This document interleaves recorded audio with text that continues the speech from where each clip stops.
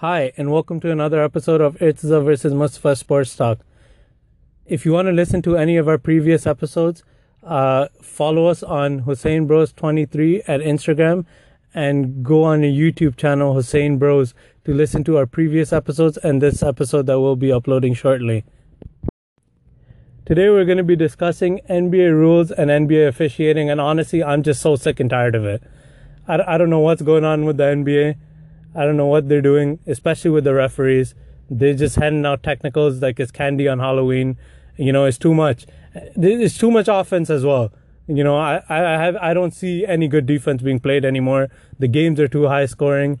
The calls are too soft. The it's just too much. I do somewhat agree with you that the calls are too soft now. That the players get too much of an advantage, the offensive players. But you cannot blame the referees. You cannot blame them because if you watch an NBA game, which you do, they complain throughout the whole game. Not just on timeouts, they complain throughout the whole game. Like the best player in the world right now, LeBron James, he complains more than he plays sometimes. He complains half the game. So what does the official the official can't keep taking it and they can't make all the calls perfect. They don't have the um, luxury of having a instant replay like we do when we watch at home. They have to make it in live action when it's so fast. When these players also flop, it's not like the players are 100% honest. They flop and try to draw the foul calls too. So it's it's almost impossible to make every correct call. And look at Nick Nurse. He complains more. He complains sometimes more than he coaches. He's a great coach. He's a great coach, but let's just be honest. He complains like 90% of the game. He's complaining and sitting on his knees or crouching. I don't know what that's about, but whatever pants he's using are are very are made very well. like, oh, I agree with the pants, man. Those are some top-notch pants. They have some stretch in those, some give in those. But eh, but going back to the topic, I agree. These these these players complain a lot. The referees do have to put up with a lot. But these technicals, some of these technicals that they're handing out, I don't know if you remember the technical that they handed out to Draymond Green for yelling at his own teammate. Yeah, but you can't no, you can't yell at your own teammate.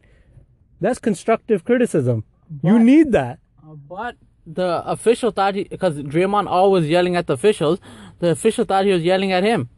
That doesn't matter even if he's yelling at the official, that yelling at an official, yelling at a teammate, or yelling at an opponent, especially if you're not saying anything that's really bad, you know, you're not using like extreme profanity, you're not, you know, going overboard, you know, it's not a problem. It's a game. It's a game where your adrenaline is high. It's a game where you're already worked up, where you're already stressed out. It's a game where it, it requires all your energy, everything you got every single night you know, these things are going to happen. Players are going to get angry. Players are going to yell at each other. Players are going to swear. Players are going to disagree with calls. You cannot hand out technicals like that. Do you remember the other technical that was handed out? I, I believe it was, uh, the other technical, I believe, was JJ Redick. He rolled the ball to the referee. And he got a technical for it. Like, are you kidding me? You not, not passing the ball to the referee is a technical? and and and let's say the referee does uh, uh, make a mistake, like Draymond Green, he thought was yelling at him. He maybe thought that JJ Redick threw the ball at him disrespectfully. Then once you call the technical, you should have the ability to take the technical back. Because one technical in a crucial game can change the entire game's outcome. Imagine if those type of calls happen in the finals. You give a technical to a player like that in the finals, give a free throw to the other team, that causes the other team to win. Or you give two technicals and causes that player to be ejected from the game, an important player like Draymond Green to his team. And you cause that player to get ejected from a technical that shouldn't have been a technical. Either you should be able to reverse the call or you shouldn't make those calls. But but reputation matters. Psychologically, it's impossible for the referee to forget like what type of player Draymond Green is he's known for always complaining and yelling. Like he's known, so he's not gonna he's gonna assume or she's gonna assume automatically that he's speaking to him or her and not speaking to his teammate because he often complains. So for the referee, it's almost impossible to like to assume what he's gonna say. Yeah, but you can't make an assumption. You can't make an assumption, and you don't teach me about psychology. You can't make an assumption and just give a technical. You have to see each each case is different, each scenario is different. You can't just be like, oh, this person yells all the time, this person complains all the time, so now therefore I'm gonna give him a technical. Oh, oh, yes, you can, because already NBA is very very slow. Like it's a fast-paced game, but the game is so slow, especially towards the end. You can't have the official go to instant replay every time. It's already the last two minutes feel like it takes 30 minutes, so they can't always go back to instant replay and see what the player said or what what happened. Yeah, I agree with you. It's already a slow-paced game, but first of all, calling these calls makes the game slower, and it's way more important to get the call right. Like I said, especially in a crucial game, it's very important to get the call right rather than to speed up the game. The whole point is to officiate the game correctly. I understand their job is hard and I understand they don't have instant replay like we do at home, but you have to make the right call or you let a couple of things go. You don't have to make every single call. But what about when the players flop? You've seen the best players flop. So what about them? What are the referees going to do about that? First, the players got to be honest before the referee. It makes the referee's um, decision making easier. If the players are flopping, it just makes the referee's job harder. Well, I definitely agree with the flops. That that needs to stop, and there needs to be uh, something done about that. More fines given out, more suspensions given out because that. But but I think the flopping more than the flopping, the problem is the soft calls that are being called. Calls like that in the past wouldn't have been called, so people wouldn't, the players wouldn't be able to flop like that and get those calls. But now you can't hand check. You can't even touch the person. It's like you can't even breathe on the uh, offensive opponent as a defensive player trying to defend the best offensive players that are way more skilled than uh, they ever were that can shoot from such distances. Now you can't even go up and uh, breathe on them. Those type of calls, those, that soft type of uh, calls that are being called, that soft type of officiating that's being done is the reason why players like these can now flop so much and get those calls. It's not the referees or the officiating problem. It's it's the rules that are put in place. They have to follow the rules. They don't make their own rules. Whatever the NBA puts in place, they have to go by it. I do agree that it's way too soft of a game now.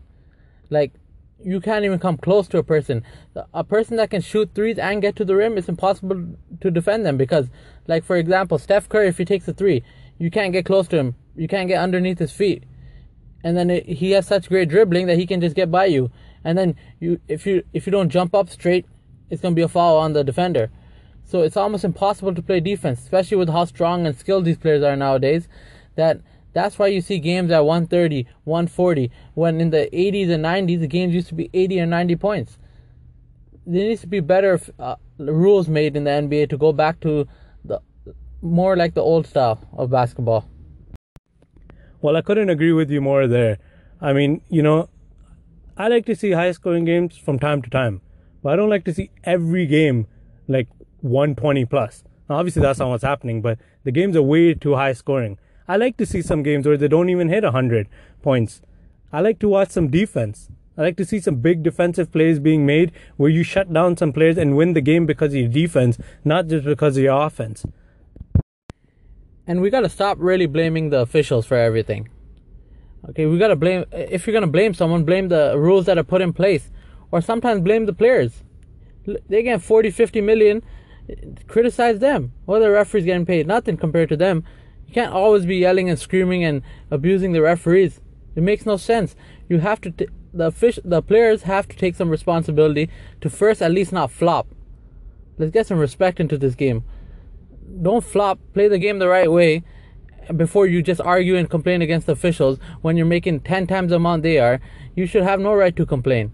Play the game, play it the right way, and let the officials, which, or some players should try officiating, maybe. Try officiating for a season and see how difficult it is. And see if a player yells at you for the whole game, see if you can take it. See if you can make the same calls the officials are making. It's not that easy. So let's Let's give the referees the respect they deserve. I mean, I, I, I agree and disagree. Like I said, the officials have too much power. They keep giving technicals for no reason. They call in these soft calls. Either change the rules, don't call these soft calls, and don't just give technicals. You don't have to hand out technicals all the time. You can argue with the player back and forth. You can argue with the coach without handing out a technical. You don't. It's, it's not necessary that every time you get an argument that you have to hand out a technical, because then you hand out technicals for a plays that shouldn't be uh, to players that shouldn't have gotten the technical for the plays that they've done. I mean, uh, how about the players not complaining every time? How about that? Don't you ever think about that? How about the players don't complain the whole game and just play the game like how we used to play on on the street? Just play with no like pretend like there's no officials. Just play the game and don't start complaining and arguing with the referees the whole game. Focus on running back on defense. A lot of times they they miss a layup or a shot and they don't even run back because they're arguing with the referee. If I was the coach, I would kick that player out the game. Run back. If the official never made the call or missed the call, then at least uh, run back and help your team on defense. Yeah, I mean, you know, the players uh, running back down the court, complaining to the referee the whole way, and not playing defense, leaving their uh, uh, the, the the offensive player open for an open shot, for an open uh, break, for an odd man break. So I mean, yeah, they, they need to stop doing that. They need to stop complaining so much. I can agree with that. But I still do think the officials have too much power and they call unnecessary technicals and it's really slowing down the game and is really uh, stopping them from calling some correct calls that could that could change the game. They're making incorrect calls that that could change the entire game. But you know, I feel like the rules need to change. NBA needs to stop being so soft and just you know I like to see some offense, but I would also like to see some better defense. Uh, let us know what you think. That's it for our topic here today. That's it for our discussion today. Like always, this has been Sports Talk from two Canucks up north. Eh? Please stay safe, take care, and we'll see you again soon.